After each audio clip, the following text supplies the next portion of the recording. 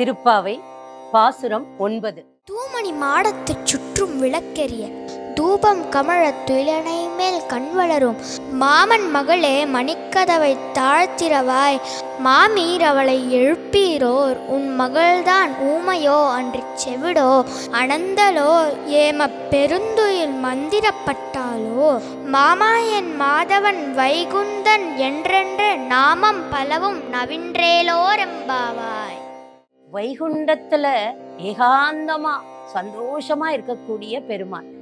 அவரை நாம தரிசிக்கலாம். மாதவன் மாயவன் ரெண்டு கிருஷ்ணர் வச்சிருக்கிறோம். வைகுண்ட பெருமாள் நடுவுல அவ்வளோ அழகா உட்கார்ந்து இருக்கிறாரு தூமணி மாடத்து சுற்றும் விளக்கரிய.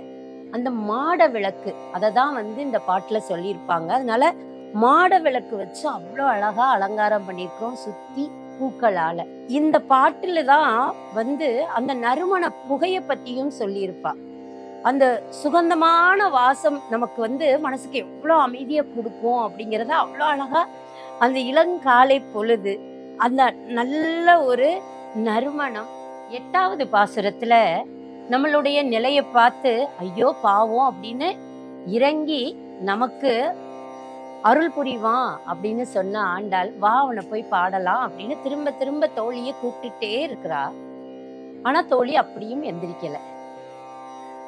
அதனால கொஞ்சம் கடுமையா இதுவரைக்கும் ஒரு பா ஒரு பாசுரத்துல கூட அவ கடுமையான வார்த்தைகளை உபயோகிக்கல. ஆனா இப்ப கோபம் வந்துருச்சு ஆண்டாளுக்கு. இந்த பாசுரத்துல அவ கொஞ்சம் கோபமாவே சொல்றா.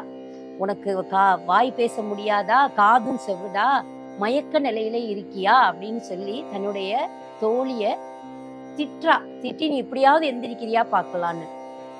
இது தோழிய பார்த்து திட்டாளா அல்லது நம்மளை பார்த்து சொல்றாளா அப்படிங்கிறத நாமளே உணர்ந்துக்கலாம். நவரத்தினங்களால கட்டப்பட்ட மாளிகை. அதை சுத்தி மாட விளக்கு அகில் சந்தனம் இதோட நறுமண புகை மெல்லிய வெண்பஞ்சு மெத்தை.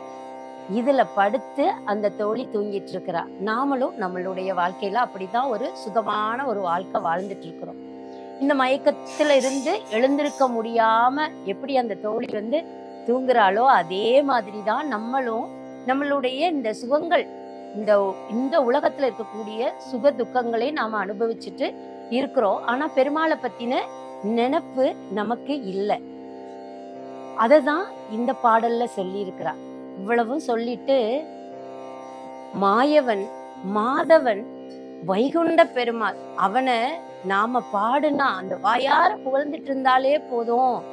நம்ம ரொம்ப நல்லா இருப்போன்றதையும் வந்து அவ்வளோ அழகா சொல்றான் இந்த பாடல்ல அந்த தோழியை வந்து தன்னுடைய மாமன் மகளாவே சொல்றா. உன் பொண்ணுக்கு தான் காது கேட்கல. மாமி நீயாவது அவளை எழுப்புறியா? அப்படின்னு கூப்பிட்டு பாக்குறா இப்படிதான். நாம நம்மளும் அப்படிதான் இருக்கிறோம். ஒரு வித மயக்கத்துல இருக்கிறோம். பக்கத்துல இருக்கிற யாராவது ஒருத்தவங்க எடுத்து சொன்னா அது கேட்கக்கூடிய நிலையில இருக்கமான்னு கூட தெரியல.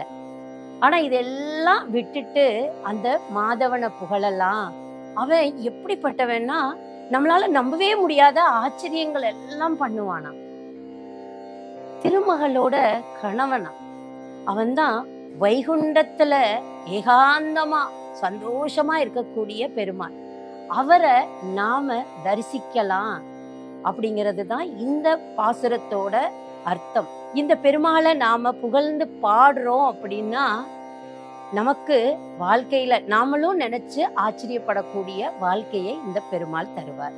மீண்டும் நாளை காலை பாசுரம் பத்தோடு உங்களை சந்திக்கிறேன். நன்றி வணக்கம்.